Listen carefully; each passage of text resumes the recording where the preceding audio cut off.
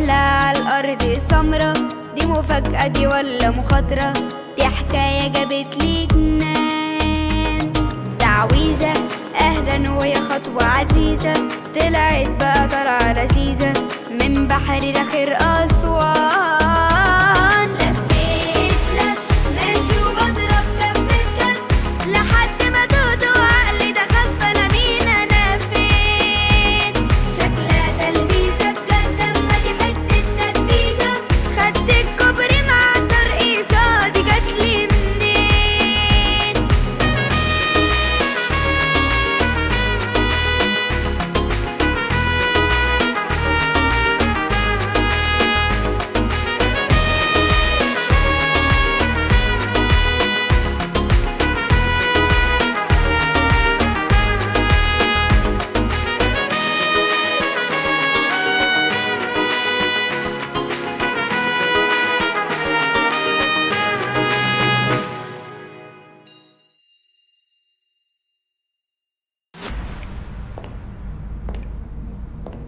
أهلا أهلا يا مازن. شرفت معملي المتواضع يا بطل. بطل؟ أنا؟ طبعا. اللي عملته ده يعرفني إنك بطل. بطل وشجاع كمان. هو أنا عملت إيه؟ وفين يحيى؟ أنا في حد كلمني وقال لي إن يحيى موجود في العنوان ده وعاوزني ضروري. في الحقيقة هو يحيى فعلا كان موجود لكن مشي. مشي وهو مزعلني يا مازن. ده يرضيك؟ أنا فاكر إني شفتك قبل كده. مش أنت اللي كنت بتجري ورا يحيى عند متحف الحضارات؟ آه آه صح صح يا مازن. كويس إنك افتكرت. آه طبعا قالك ده راجل شرير وعايز يخطفني لكن الحقيقة غير كده خالص. وإيه هي الحقيقة؟ الحقيقة إني عايز أستغل قدرات يحيى لصالح بلدنا الحلوة. تخيل زعل قوي وقال لي لأ. أنا كل الأسرار اللي أعرفها هحتفظ بيها لنفسي وإن كلمة السر دي ملكي أنا وبس. بس يحيى مش أناني عشان يعمل كده. ده هو اللي خلاني بطل. مم. آه مفهوم مفهوم. لكن ممكن يكون فاهم الموضوع غلط. فاكر إننا هنستغنى عنه بعد ما نعرف كل حاجة ومش هيبقى له لازمة. ومش هيبقى طفل مشهور وسط الناس. ما يعرفش إن كده الناس هتحبه أكتر وهتقدره أكتر. يعني هو عامل كده عشان خايف؟ طبعا وللأسف مش عاوز يغير رأيه أبدا. لكن مصلحة البلد أهم من أي حد. حتى لو الحد ده هو صاحبك يحيى. وكمان اللي إحنا هنعمله ده في مصلحة يحيى نفسه. أكيد الناس بعد ما نكتشف كل الأسرار هيعرفوا إنه هو مصدرها وبكده يتعرف أكتر ويتشهر أكتر وأكتر. أنا برضو لسه ما فهمتش. إيه المطلوب مني؟ ولا أنا. آه، قصدي أنا هقول لك إيه المطلوب منك وتنفذه بالظبط. كل اللي مطلوب منك إنك تقول لنا أول بأول كل حاجة كل حاجة يحيى بيعملها. ولما يقول قدامك حاجة تقولها لي لحد ما نقدر نقنعه. طب ممكن أتكلم معاه وأقنعه؟ اوعى اوعى تعمل كده من نفسك. يحيى ممكن يحس وقتها إنك مصدر خطر وما يثقش فيك ابدا بعد كده. وبدل ما أنتوا صحاب يعتبرك واحد من الناس اللي لازم يحرص منهم يا مازن. معاك حق وأنا مستحيل أخسر يحيى. وأكيد لما أعمل كده هيكون في مصلحته. يبقى تسمع الكلام وأنا وقت اللزوم هتصرف. أنا متأكد يا حضرة الناظر إن الدرجات دي وتحديدا درجات الطالب اللي اسمه يحيى دي مش حقيقية. أكيد الولاد دول قاصدين يحطوني في موقف وحش آه. وهم هيعملوا كده ليه يا أستاذ شريف؟ لأن ببساطة عاوزين الأستاذ عصام يبقى هو مدرس الفصل. تقدر بقى تسأله هو هم عاوزين يعملوا كده ليه. أنت اللي شاغل تفكيرك بالحب والكره ونسيت الدور الأول ليك يا أستاذ شريف. نسيت إن عقول الولاد مسؤوليتك والعقل مش مجرد دولاب ترمي جواه حاجة وترجع تلاقيها في مكانها. العقل وتحديدا في السن ده محتاج اللي يوعيه ويفهمه بكل هدوء وذكاء. وإيه اللي دولاب وتحط فيه الهدوم والأفكار والكلام اللي اللي انت بتقوله ده تنكر إنك بتدي يحيى وكنوز درس خصوصي وإنك كل يوم واقف وبتتكلم معاهم؟ أنا عمري ما اديت درس خصوصي من الأساس يا أستاذ شريف. ويحيى وكنوز مش محتاجين أصلا ياخدوا دروس. اللي بتقولوه ده مرفوض يا أساتذة. ركز مع الطلاب اللي عندك علشان الامتحان اللي جاي يا أستاذ شريف. وانت يا أستاذ عصام لازم تعرف إنكم زملاء وما يصحش تقول له يعمل إيه وما يعملش إيه. اتفضلوا.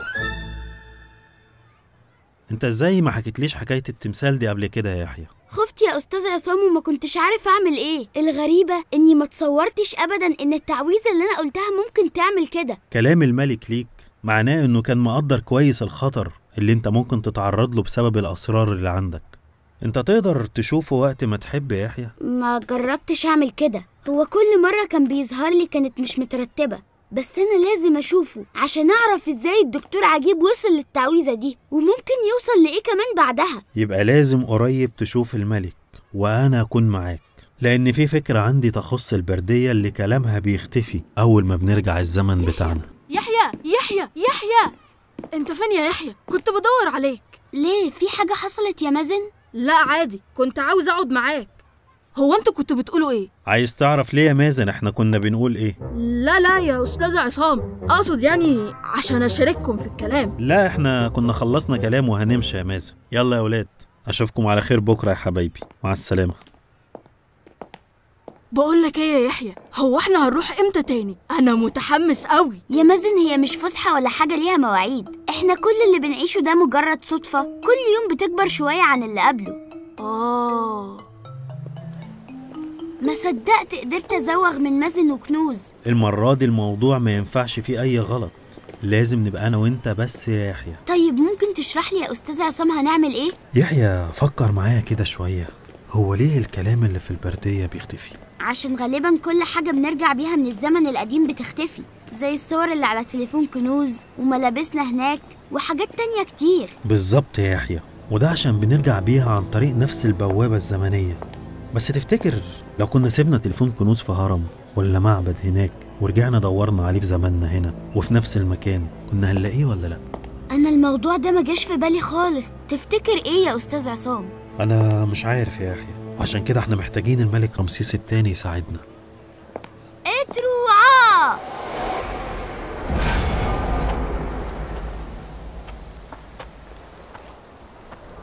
طبعا عاوزين تعرفوا أنتوا فين. لا يا سيني إحنا عاوزينك المرة دي في موضوع تاني خالص. انت لازم تخلينا نقابل الملك رمسيس التاني يا سينو. إيه ده؟ هو انت يا يحيى ما بتعرفش تقابله لوحدك؟ امال دايما بتقولي هبلغ الملك هبلغ الملك. بتخوفني ليه يا أخي؟ أنا أقدر طبعا أقابله لوحدي يا سينو لكن عشان إحنا ما نقدرش نستغنى عنك أنا قررت أخليك أنت اللي تساعدنا. يا عم سينو هتقدر ولا لأ؟ السؤال ده ما ينفعش يتسأل لسينو. آه. بس أنتوا عاوزين الملك في إيه؟ هقولك بعدين يا سينو؟ طب والمغامرة الجديدة. يا سينو هنرجع لك تاني. بس الأول خلينا نقابل الملك. طب يلا غمضوا عينيكوا سينو قال لي إنك عاوزني في أمر خطير يا يحيى. مم.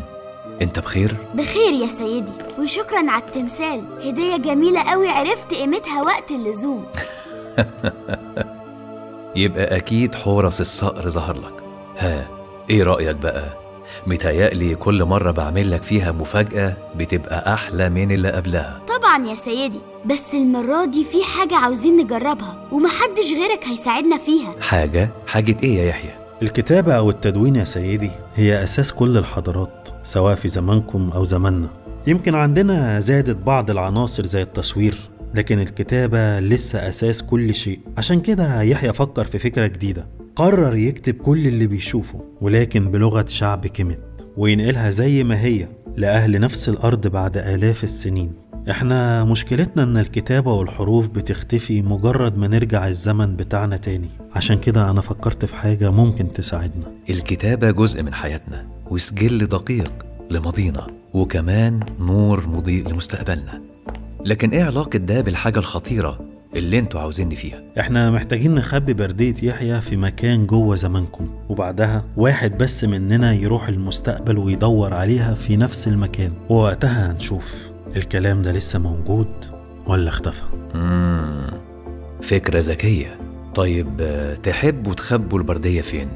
أنا ليا هنا معابد كتير وتماثيل ملهاش عدد. بعد إذنك يا مولاي أنا محدد المكان. هرم ونيس هرم ونيس اشمعنى؟ الهرم ده اتبنى في عصر الأسرة الخمسة وفي زماننا علماء الآثار اكتشفوا فيه جزء من أهم النصوص الدينية لشعب كيميت وهي ماتون الأهرام وأنا عايز أخلي بردية يحيى في نفس المكان عشان الأمور تبان طبيعية ومحدش يكشف السر مم. يعني هتخبوها وترجعوا زمانكم تاني تدوروا عليها مظبوط؟ واحد بس فينا اللي هيرجع والتاني هيفضل هنا مين اللي هيرجع زمانكم ومين اللي هيستنى في الزمن ده؟ المرة دي يحيى اللي هيرجع ويدور على البردية وأنا هكون موجود وقتها جوه هرم ونيس في العالم القديم مم. طيب وليه ما ترجعوش أنتوا الاتنين؟ اللي خلاني أتحرك عشان ننفذ الفكرة دي هو الفضول يا مولاي أنا عندي فضول أعرف إزاي ممكن البردية تختفي أول ما يحيى يلاقيها الموضوع ده لو حصل هيبقى من حظي إن شفته بعينيا ولو مرة واحدة في حياتي خلاص أنا هعمل لكم اللي أنتوا عاوزينه. بس لازم تعرف إن كلمة السر عمرها ما هيكون ليها مفعول معاك ومش هتقدر ترجع زمنك لوحدك من غير يحيى. يعني لو يحيى فشل إنه يلاقي البردية واتأخر عليك لأي سبب مستحيل ترجع زمنك الأصلي تاني.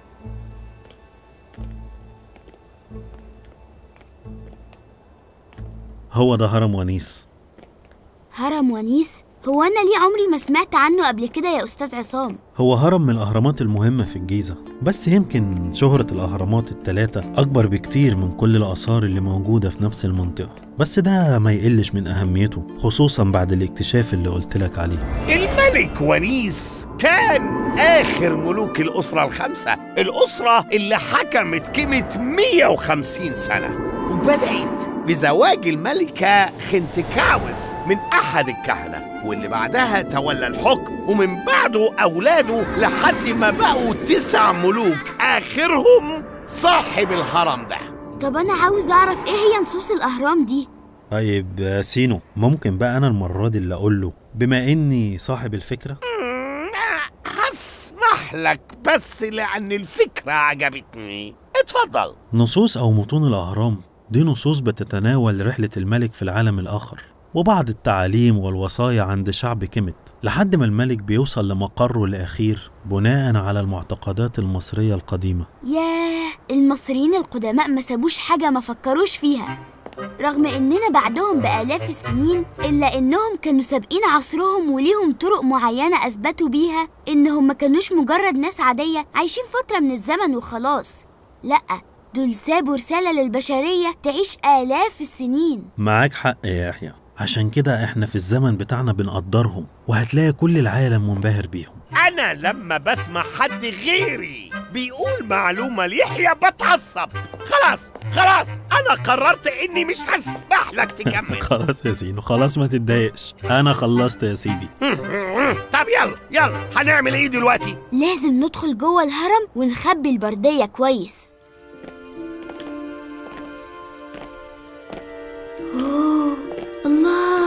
إيه الجمال ده؟ ده حلو قوي. إزاي ما دخلتش قبل كده اي هرم من جوه؟ ملوك مصر القديمة اهتموا جدا بكل تفصيلة داخل أهراماتهم. اعتبروها أسرهم في الحياة التانية. على فكرة أنا خليت يحيى يشوف أهرامات أحلى من كده بكتير. يا ياسينو خلينا ننبسط باللحظة بقى. سينو معاه حق يا يحيى. أعظم من بنوا الأهرامات كانت الأسرة الرابعة بداية من سنفرو لحد الملك من كورع يوه برضه بيقول معلومات.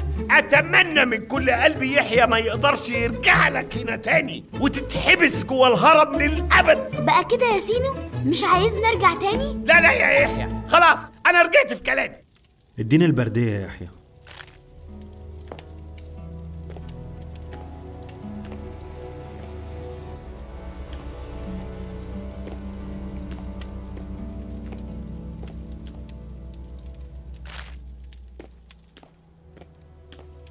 يحيى خليك فاكر. أول حجر من ناحية صورة الملك اللي على يمينك أول ما تدخل؟ أوعى تتلخبط يا يحيى. ما تخافش يا أستاذ عصام أنا دلوقتي لازم أرجع. ها آخر كلام. هتفضل هنا؟ إحنا بنعمل تجربة. لو نجحت يا يحيى هنغير التاريخ. بس مش على طريقة الدكتور عجيب على طريقتنا ولصالح أجيال كتير جاية.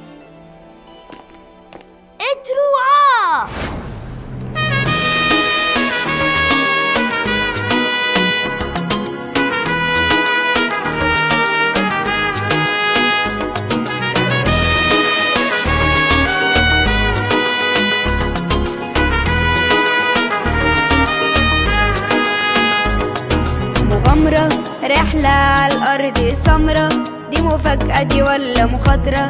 دي حكاية جابت لي جنان.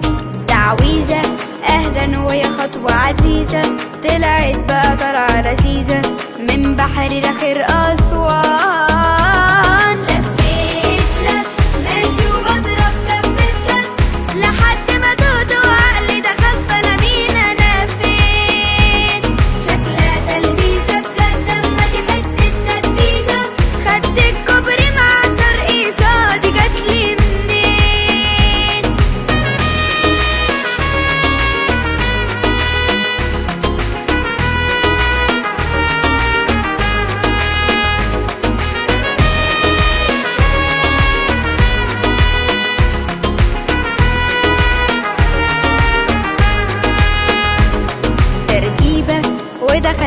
ودخلت في دنيا عجيبة بس أنا وكنوز لعيبة بنفوت في الصخر سوا أنا غاوي وفضول أعمل لي بلاوي إنما قلبت لحكاوي كانت في طريقنا